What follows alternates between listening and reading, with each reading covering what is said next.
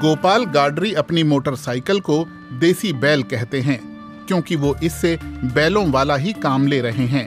इस देसी जुगाड़ से वो एक देसी मिठाई बना रहे हैं, तिल और गुड़ से बनने वाली मिठाई, जिसे यहाँ मध्य प्रदेश के मंदसौर ज़िले में लोग तिलकुट कहते हैं। हर साल गर्मियों में ये लोग राजस्थान से यहाँ आते हैं और लोगों को एकदम ताज़ा तिलकुट बनाकर खिलाते हैं। लेकिन अपनी बाइक को वो जिस तरह से इस्तेमाल कर रहे हैं वो लोगों का सबसे ज़्यादा ध्यान खींचती है। पहले बेल से होता था ये काम और अब बेल रखना बहुत मुश्किल है रख नहीं पाते हैं तो बाइक से करते हैं हम लोग। बाइक अपना ही है जो गाँव से ही लेके आते हैं। और कई जगह लाइट का और मोटर से ही होता है बड़ा गाड़ी जिसमें तेल निकलता है तिलकुट भी बनता है। इन लोगों के पास तिल का तेल भी मिलता है।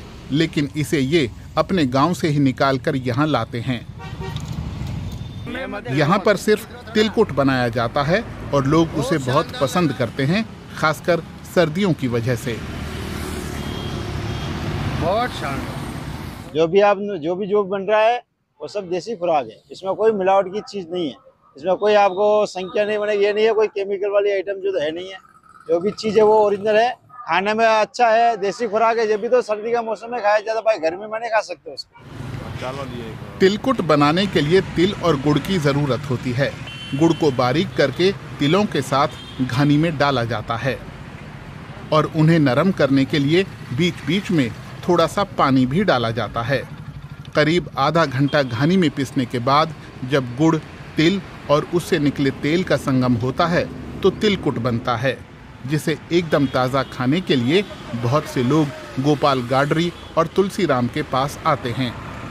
तिल के द्वारा अपने सामने निकाला जाता है पूरी तरह शुद्ध होता है और आज के समय में शुद्ध चीज़ का मिल जाना और अपने सामने एक लकड़ी की घानी से निकाल करके दिया जाना बहुत ही स्वास्थ्य के लिए फ़ायदेमंद है ठंड के लिए फ़ायदेमंद है। हम अभी रास्ते से निकल रहे थे तो उनका बैनर देखा। और बैनर में जैसे राजस्थान के तो फ़ेमस है ही खाने पीने के मामले में। तो हमने देखा ये तिल्ली कुट्टी के नाम से कुछ बना रहे हैं तो हमने थोड़ा चेक करा टेस्ट बहुत अच्छा लगा। और टेस्ट इतना अच्छा लगा कि हमने सोचा कि इसको घर पे भी ले जाया जाए। तो अभी हमने और लिया। अपनी दुकान के पास ही प्लास्टिक की तिरपाल से बनी झोपड़ी में गोपाल गाडरी और तुलसीराम रहते हैं। उनका घर यहाँ से करीब पौने 200 किलोमीटर दूर राजस्थान के भीलवाड़ा ज़िले में पड़ता है। वैसे तो ये इनका पुश्तैनी काम है लेकिन अब इसे ये लोग मजबूरी में ही कर रहे हैं। हमारे पूर्वज करते थे और अभी हम कर रहे हैं बेरोजगारी के चलते कर रहे हैं सब।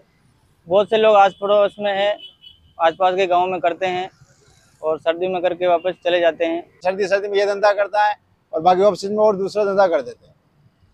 एक नहीं है, बहुत सारी गाड़ी हमारे समाज में बहुत, यहाँ से अहमदाबाद, गुजरात, सूरत के अंदर है मोड़ासा में है, ऑल इंडिया मारवाड़ के अंदर है, उदयपुर, हर जगह जगह पे हमारा स्टाफ है। गुड़ और तिल से बने इस जायके को मध्य प्रदेश में तिलकुटा कहते हैं तो गुजरात में कतेरिया और राजस्थान में कानिया और सानी कहा जाता है। जब तक सर्दी है, लोगों को इसका स्वाद अपनी तरफ़ खींचता रहेगा। और ये बाइक गोल गोल घूमकर तिलकुट बनाती रहेगी।